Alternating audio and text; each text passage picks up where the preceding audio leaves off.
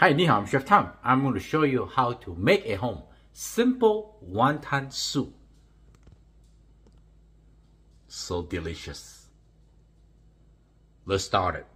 Making simple wonton soup. You need the wonton wrapper. Get at the grocery store. If you cannot find wonton wrapper, sometimes they have the egg roll wrapper. Just cut it quarterly like this.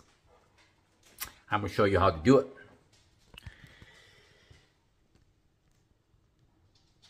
Here I got some bok choy. Chop it up, mushroom and green onion. This is the boneless, skinless chicken breast. Or you can use ground chicken. So basically, I don't want to season any besides just salt, pepper, and just a little bit of sesame oil. Like this. You don't want to add soy sauce, otherwise it will turn into like dark. When you wrap into the wrapper, it will just not beautiful color. This is the best. Salt, pepper, and sesame oil. Get them nicely chopped.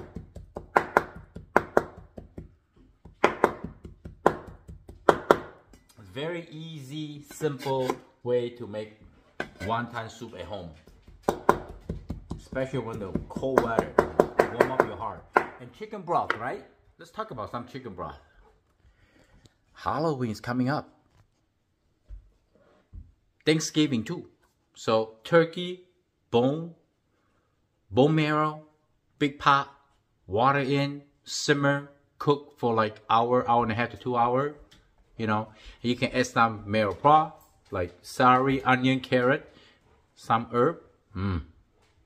and you extract all the flavor out. And the broth, let it cool off, and get a really strong zip back, you know, zip back, really strong one. You can fill up and freeze it, and you can use it all the time. All right, let's get back to our wonton. All right.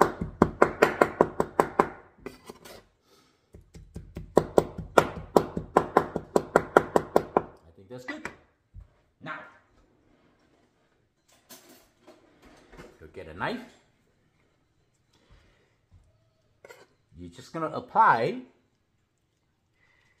very little.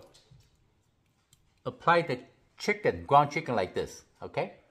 And then just follow like this. Form a triangle, fill up and then you uh, add some water. I prefer egg, beaten egg if you have some.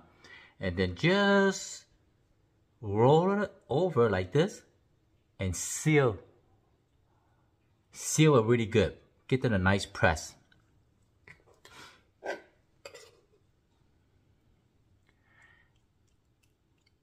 The reason you apply the ground meat chicken on the wonton, look, the meat will not fall off, right? If the meat will not fall out when you cook it, it will not break it apart. You see like this, you just squeeze the meat, kind of get them a gently press, and then go like this. Just roll over. Use your thumb and your index finger, just roll over. Just make sure you seal it really good. Okay? The idea is we don't want the, the wonton filling to come out.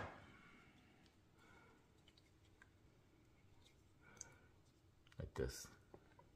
Or if you want to feel the meat in the middle of the wrapper and you want to seal the edging, okay too. Because I think the water will seal. I never use water, but this is an experience, right? If I don't have to waste uh, beaten egg. So what are you going to do with the extra meat that you have? That smells so good, the sesame oil. Sesame oil, always just apply a little bit. Don't put too much because they're very strong, very strong smell. If your feeling is too much, take some out, you know, like this. Ooh, this one, it's okay. Go like this. Almost done.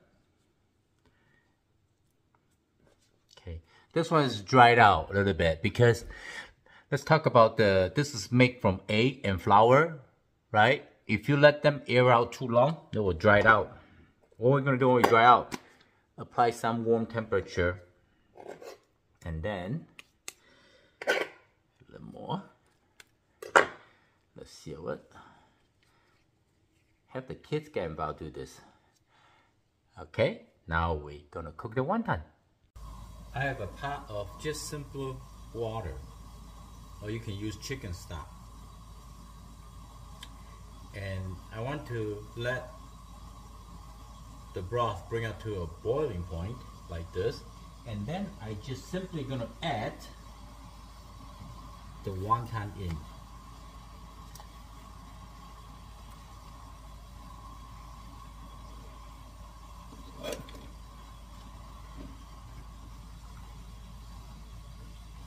Give them a quick stir so they're not stick at the bottom of your pans or they stick together. And then, remember there's a leftover ground meat chicken with seasoned salt, pepper, and sesame oil. I can use it to making a beautiful, delicious chicken broth. And here we want to make sure the water is not over hot, okay? If the water boiling point too hot, it might easy to break the wonton filling apart. See the extra protein, why not? Okay? And then, I need a new spoon. I'm gonna add some ginger, garlic, and hot chili. Why not? See, the water is getting too hot now. Turn it down a little bit, like this. That's why we have that temperature adjuster for you, okay? And then, we're gonna add our bok choy in. And the mushroom, green onion. Oh, you want to garnish the green onion is fine too. Now, we're gonna add a pinch of salt to taste. More pepper. And sesame oil. The soup will be so clean and delicious.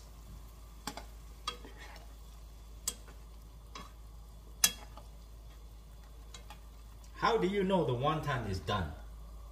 Well, there's two ways.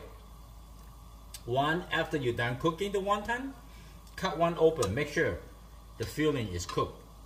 Or, usually, the wonton, just like a dumpling, they were floating on the top of your soup. And then you let them cook three to four more minutes, it should be done. See now the wonton is floating up, meaning they're almost done.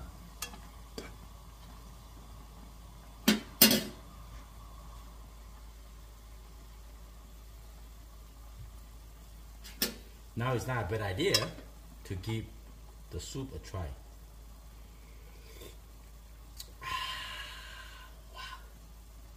Wow, wow, wow. Sometimes you don't need the chicken broth to make. This is just as delicious.